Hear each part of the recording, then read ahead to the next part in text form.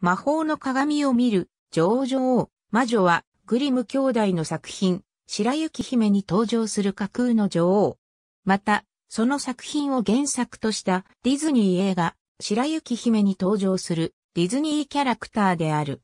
グリム童話初版では、白雪姫の実母で、ママ母になったのは、第2版以降の作品である。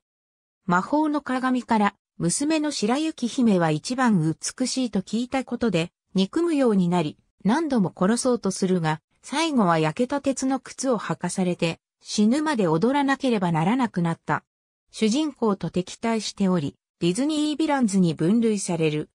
初登場作品の白雪姫では、冷酷な眼差し、黒いマント、大きな金色の王冠と、青紫色の豪華な衣装を着た上皇であり、自分が一番美しくないと気が済まない白雪姫のママ母として登場。そのため白雪姫の美しさに嫉妬し、少しでも水ぼらしく見せるために、下働きのように扱っている。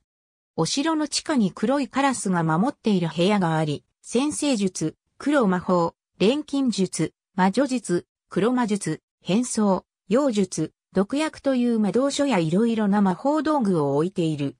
魔法の鏡が自分ではなく、白雪姫を美しいというので、狩人に殺すよう命令するが、失敗する。今度は、肌をヨボヨボにするミイラの粉、衣装を黒くする、闇夜の黒い液体、声を吹けさせる赤い液体、髪を白くさせるための恐怖の叫びを調合した魔法の薬を飲み、黒い衣を着た白髪の老婆に変身し、毒リンゴを使って白雪姫を殺そうとする。